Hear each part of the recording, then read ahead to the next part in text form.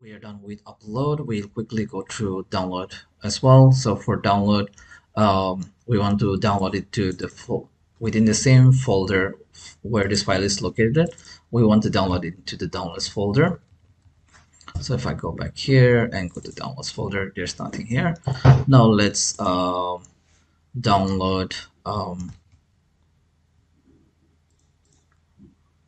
the Sebi file. Yeah um, instead of passing the ID we'll find the ID by the file name.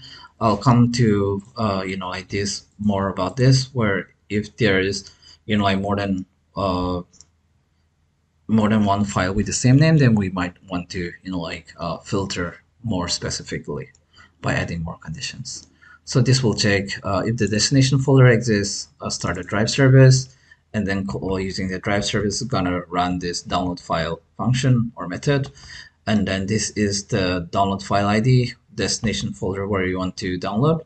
Uh, in this premium uh, you know like premium version you have uh, option to rename the destination file as well um, or you can leave this. So if you leave this part um, as well it's gonna work. If you, you call like this as well it's gonna work. It will directly download as the you know like um, original source file name otherwise you can also specify like this. And then again this part is exactly the same. It's basically going to check the status. Okay um, the only thing I'll add here is DoEvents just to make sure that it shows the status.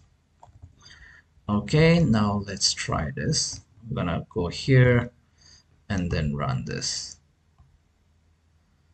so you'll see down there that the status will change in a bit. Once the download starts 1327 the download is faster. Again it, it is based on your internet. It is downloading at the moment not completed yet. It's just completed now. Okay so if I open this